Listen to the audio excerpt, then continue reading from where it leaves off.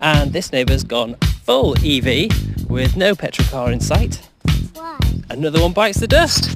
A victory for us all.